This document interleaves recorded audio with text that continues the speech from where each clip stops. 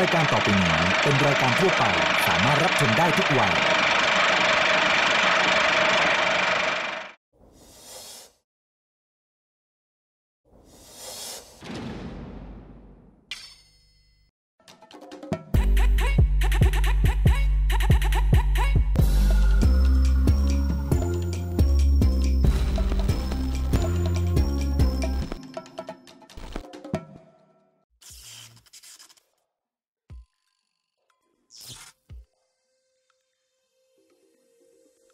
นับสนุนโดยผลิตภัณฑ์ผลไม้ฟรุตเบรดและน้ำเชื่อมแต่งกลิ่นตราเนเจอร์เทส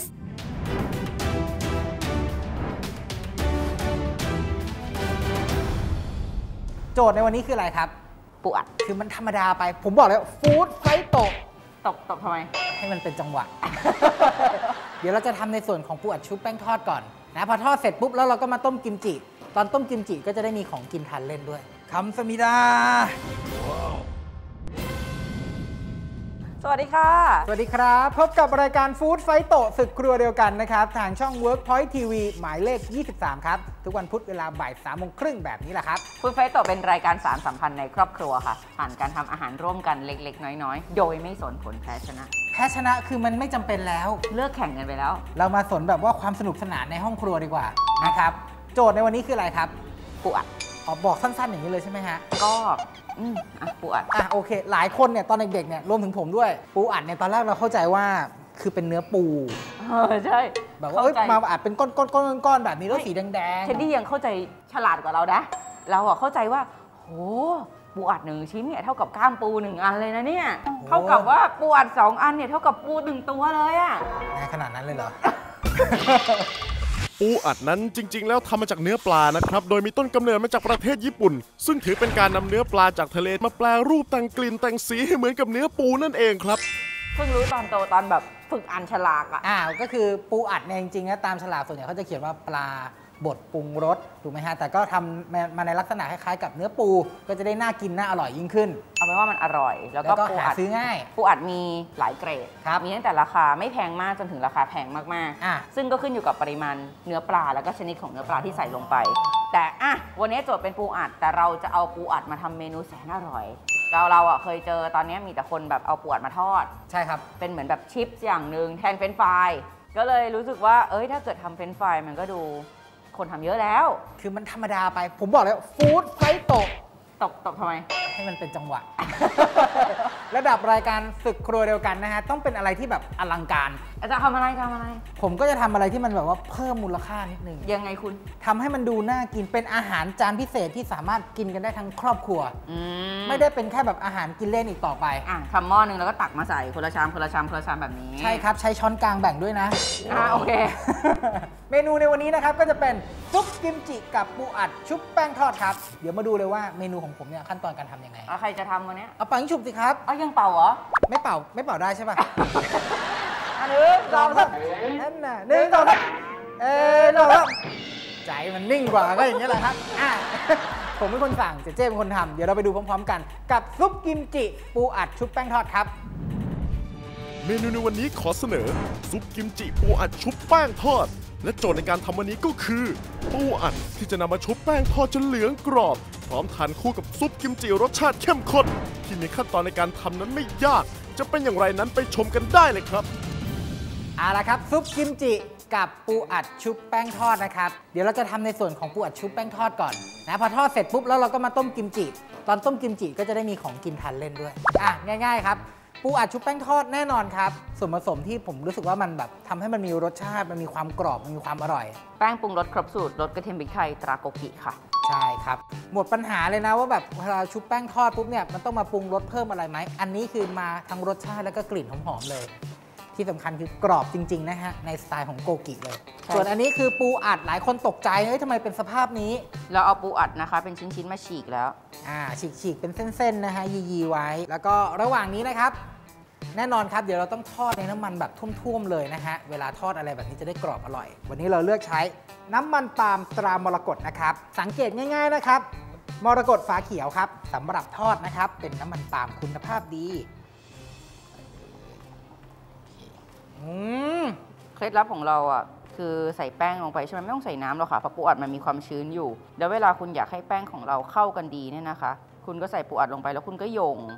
เหมือนคลุกเคล้าใช่คลุกให้เข้ากันแบบนี้ค่ะเฮ้ยแต่ตอนนี้ได้กลิ่นของแป้งเขาหอมมากเลยนะ อร่อยมาก แป้งสูตรนี้คือโอ้โห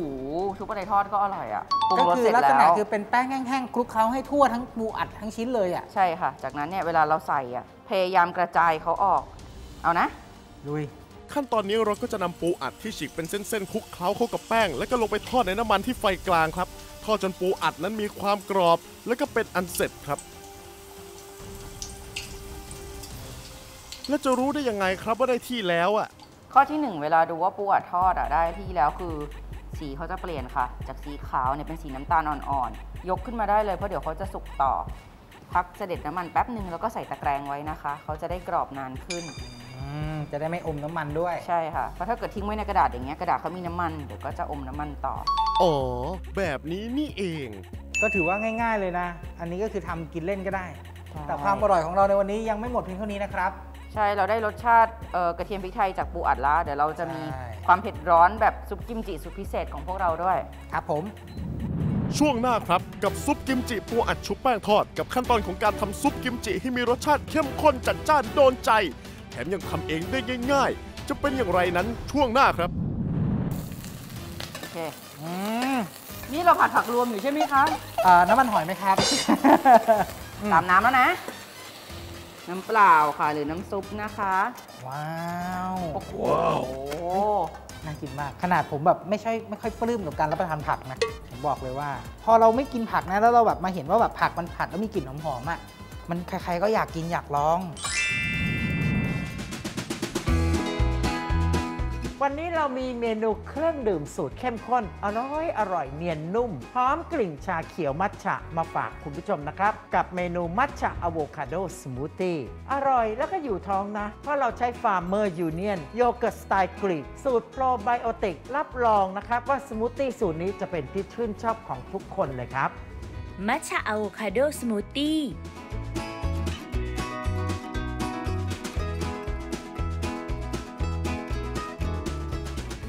ใส่ Farmer Union โยเกิร์ตสไตล์กรีก สูตรโปรไบโอติก สูตรนี้มีโปรไบโอติกมากกว่า 1,000 ล้านตัว ต่อ 1 หน่วยบริโภค ไม่มีสารให้ความหวาน เป็นแหล่งโปรตีนชั้นเยี่ยม ลงในโถปั่นตามด้วยอะโวคาโด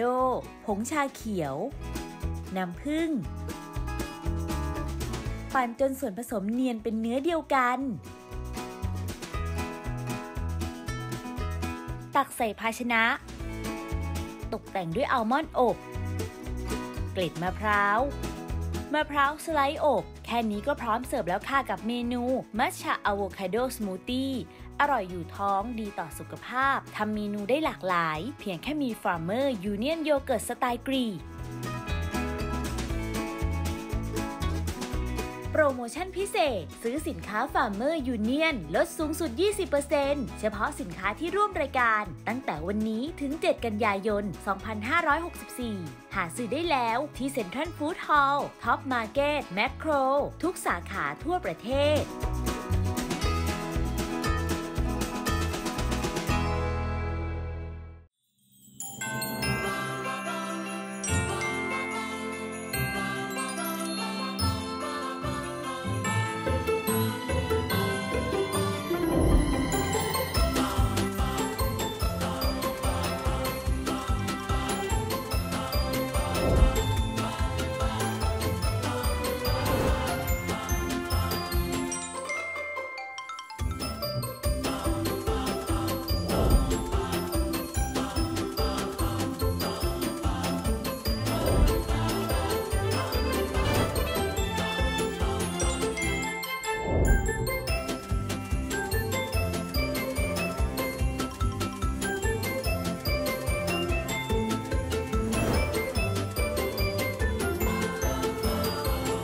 Traditional Pound Cake พิเศษเพียงแค่ 900 บาท 1 เซต รวม 3 รสชาติ จากปกติ 1,350 บาท จัดส่งฟรีทั่วประเทศ